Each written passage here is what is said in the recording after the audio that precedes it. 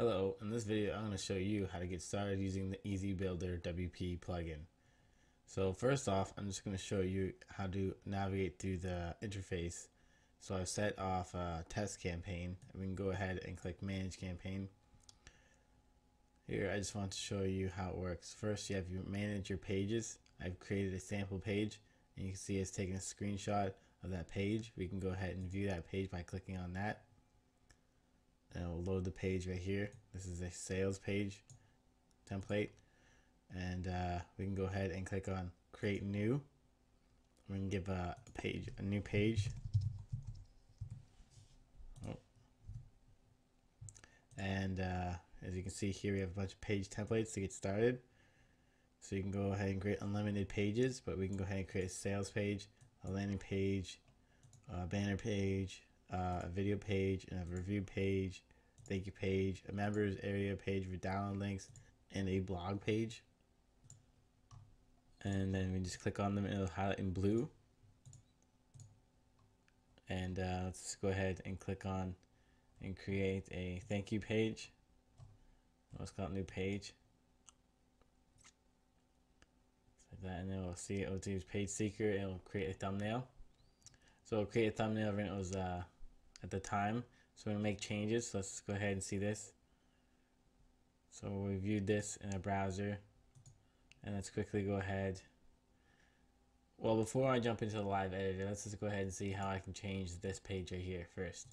So we can go into the design settings and we can go ahead and give this a header image and a background. I'll jump into that in a second. First, let's go ahead and change the typography to Georgia and drop shadow. We can give it a drop shadow we can also round the corners off. They're 10 or 5 pixels. And this will affect all pages. So I want to show you an example of that. So we load the page and now the background is white with the drop shadow and the rounded corners. And Georgia is the font, obviously. And this will affect all pages. So let's just go ahead and view this thank you page that we just created. And then of course there's the same exact same settings. So let's go ahead and SEO settings. So browser title, we have the meta description, the meta keywords, and we have the footer. Let's just go ahead and grab some content to put in the footer. And then go ahead and put our own custom CSS and our own JavaScript if you want for tracking, etc. And let's go ahead and this page. And now it can't see it, but in the browser title now has the, the title there. Let's go ahead and change the background to a little darker. Save that. And I'm going a little fast.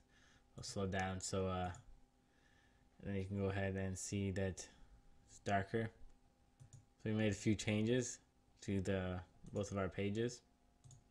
And as you can see, all the, the reflection changes reflect on all pages So let's just go ahead and click reload thumbnails and this will allow us to go ahead and reload these thumbnails right here. So let's just go ahead click that and go back to our thing.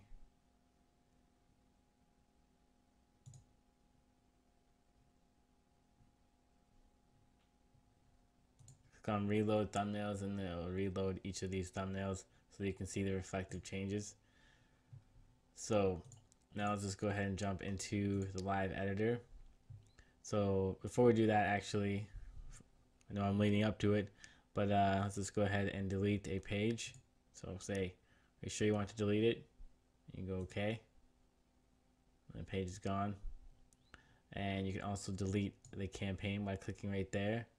This one's uh, very important because if you have 20 pages for this campaign, it will delete all those pages as well. So make sure not to do that if you don't want to. So you can create unlimited campaigns.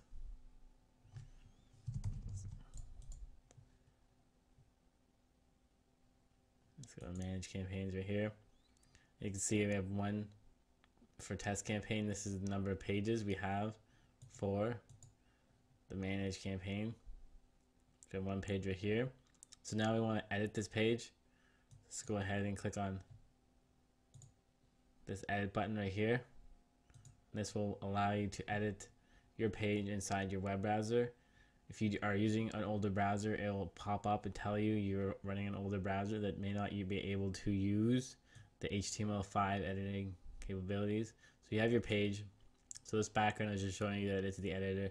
You have this editor bar right here with all these little buttons that allow you to bold, italic, and change the justification to center and right, left and right. You can add an image. You can add a link. You can add lists. You can add paragraph tags and header tags. You can add your own HTML code right here. You can also add anything to a block quote and we'll also add some content which we'll get into. I'm going to click on save page and then you'll see the changes reflect. So first thing you're going to want to do is click on any of the text on all this page is you can start editing it right away. So let's just go ahead and start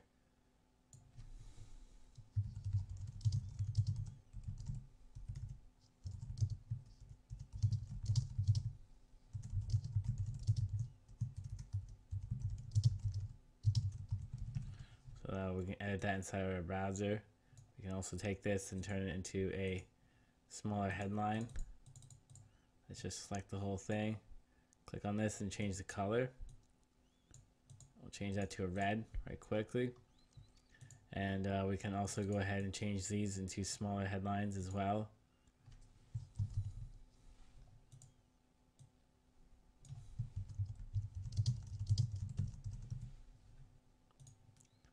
And uh, if you see an image that has an icon, so this one has an icon right here, we can click on it, which is an image. Go over here, make sure it's selected and highlighted, and go to insert an image, click on that.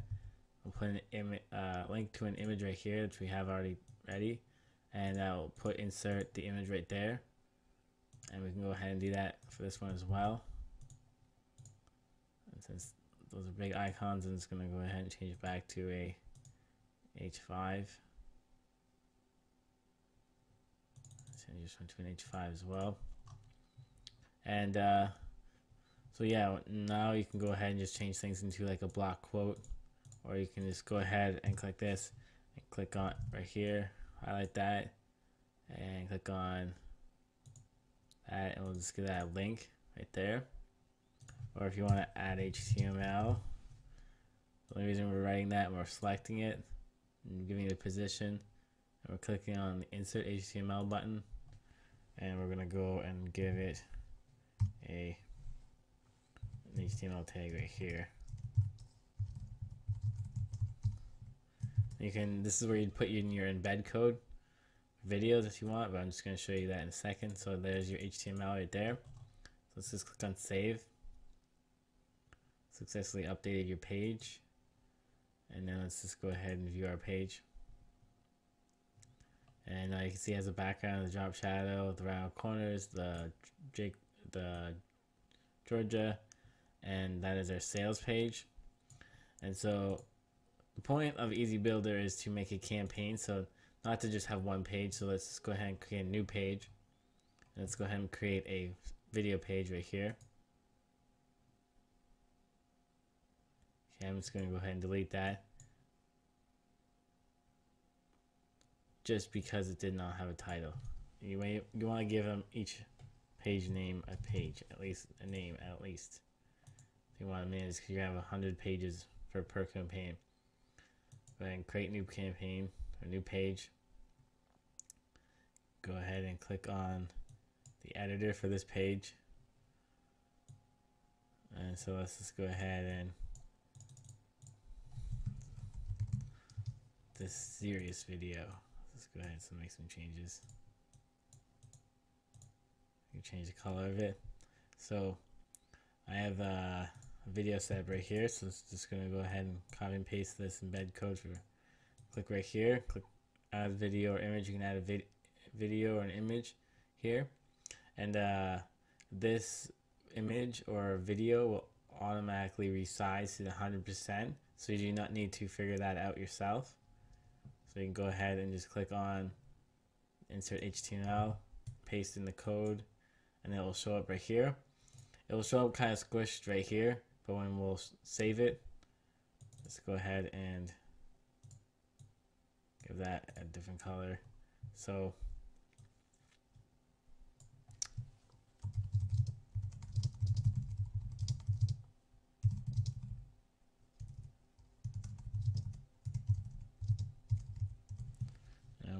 just add a, link because we have the video. And I'll just go ahead and add a link somewhere. Doesn't matter where. So let's go ahead and save this page. Let's come back here and click on our page. And as you can see, it can just like our other one. So it's a campaign. So now this is our video page. There's our sales page. There's our video page. So let's just go ahead. So as you can see, when we start building our at our campaign, you can start making more pages like a banner page, a blog looking page, members area page, a, you know, affiliate page for reviews. There's a whole bunch of different pages you can do, and uh, so this gives you a bunch of flexibility. Also, you can go with a blank page. Let's go ahead and do this. You can do this for uh, any pages. Go ahead and make a blank page. Save that. Click on our editor. And now I have nothing there, but we can click on add content. So we have one column, two column. So we have one column, so you can have one column like that. And you click on two columns. So we have a column right here and a column right here. And then you can do the same thing right here. So now you have three columns and four columns. And you can, we can just go ahead and save that.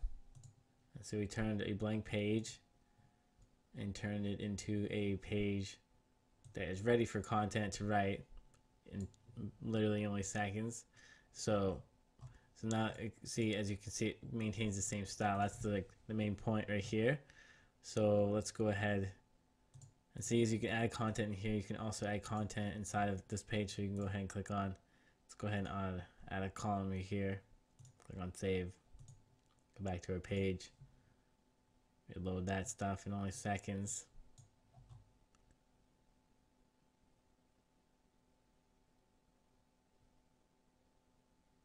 Depending on your internet speed. But there, boom. So now you have that. So you wanted to add, to actually start editing that content, obviously you just select it. It's better to double select, to double click, and select the box. Start editing. So let's just go ahead and click on this. Just select that right there. Make it bold, italics, and underline. And just go ahead and select all of that. And we're just going to collect that. It's going underneath there. I will fix that later. As this is version 1 of Easy Builder, we are taking your feedback and we will be building version 2.0. So we'll be taking your feedback as to make this editor better. So let's just go ahead and show you how to create this page a little bit more. So let's go ahead and go back to our design settings here. And uh, I already have a header image right here. Just go ahead and copy and paste this one. Go and put it right here. Let's go ahead and save that. and see what happens to our page.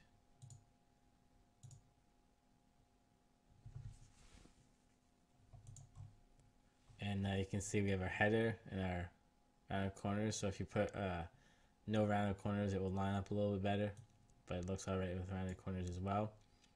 And I have a background image right here. So you have to provide your own header and background but that allows you to have more freedom. So you can put the background image and then you can select the background color or you can select how the background image is repeated. So you can go no repeat the top left or top center or top right or you can repeat it along the top if it's a repeating graphic or repeat it down the middle or you can repeat it all over.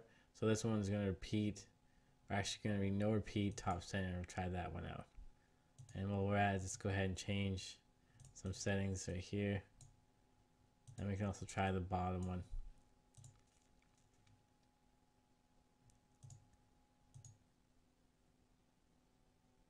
Reload our page and sees the background and our header and it lines up because we didn't put the round corners. And there's our page.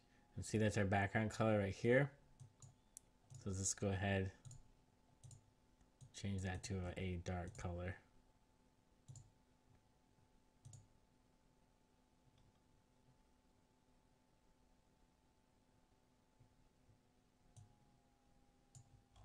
And there you go. And so if we reload some of our other pages right here, like our sales page, without touching it, it's already been automatically created. So if we get a whole campaign right done with around like 10 pages. We have a whole campaign and we realize that we need a new header and it needs to be on all pages. Just change it once. It's right there. And this also works on Facebook timeline because the width is 108, 110 pixels. So it will be this. It won't show the background, but it will show everything else. And uh, so let's go ahead and just go ahead and create one last page. And uh, so let's go ahead and create one last page right here. So let's create our last page and let's go ahead and create a blog page.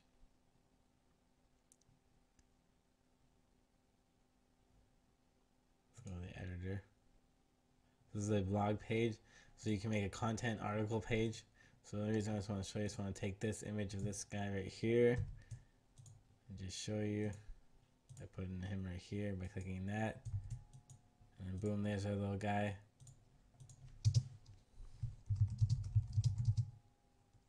His name is Tom. Now we can just go ahead and save that.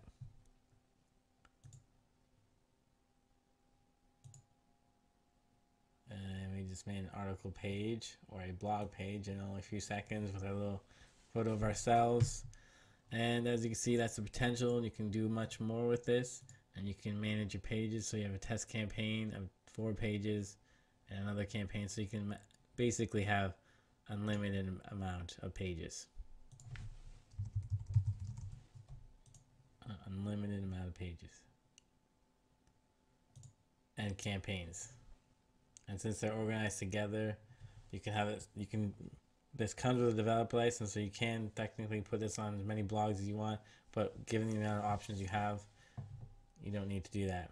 And uh, so if you have all your uh, your snapshots like this and they don't match or anything you can just go ahead and click on the reload thumbnails and this will reload all the thumbnails and allow you to see the, the commonalities of your whole campaign and uh, thank you very much for watching.